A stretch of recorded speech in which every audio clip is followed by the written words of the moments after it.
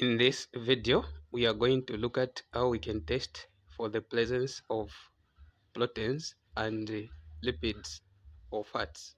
Okay, so last time we looked at how we can test for reducing sugar and non-reducing sugar.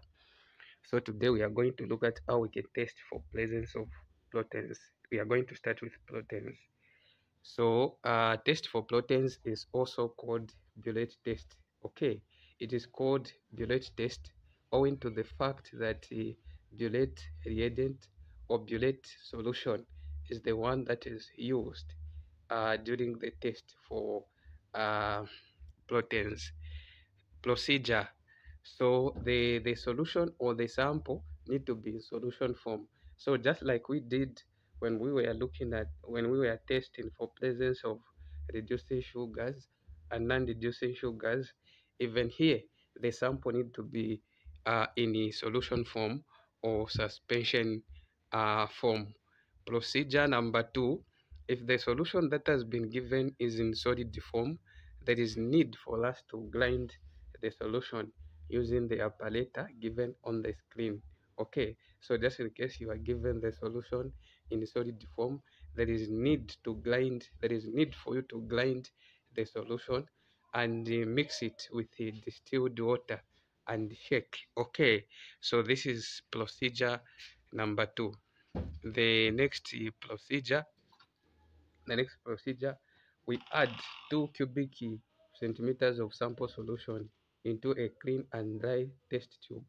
So the test tube needs to be uh, clean and dry to avoid giving uh, giving us wrong results or to so that we can uh, uh, avoid making a wrong conclusion. Then we need to observe and record what happens.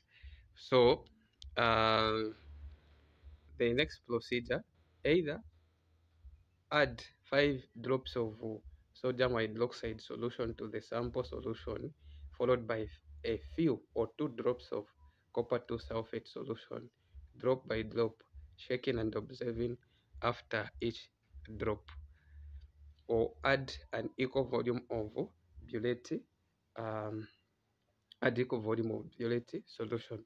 So in this case we are going to use a Biuret reagent.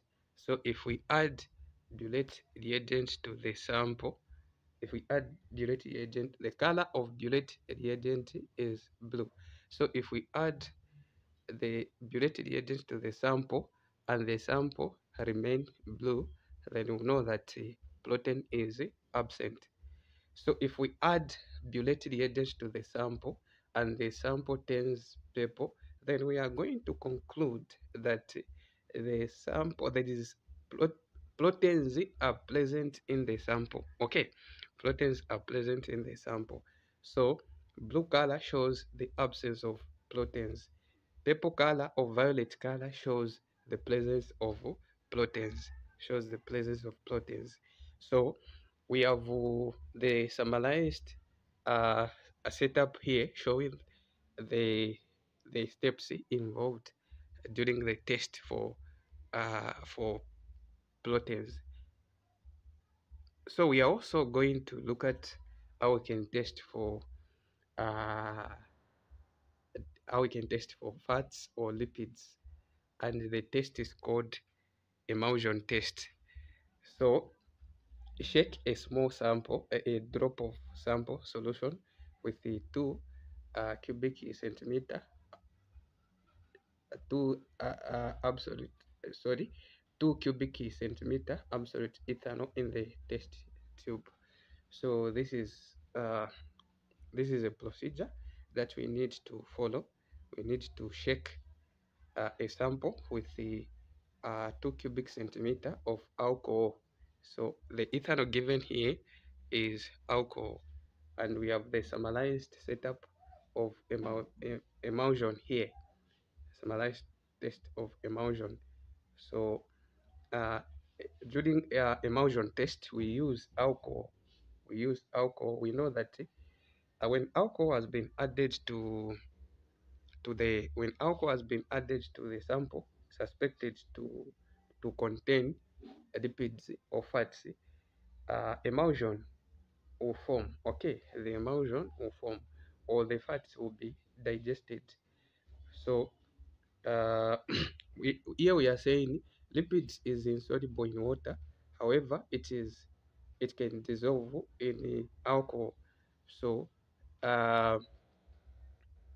uh, lipids are capable lipids are capable of dissolving in lipids are capable of dissolving in alcohol.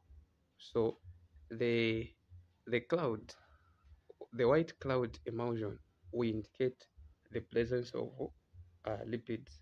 So if we, if the white cloud emulsion is not observed, then the lipids lipids are absent. Okay,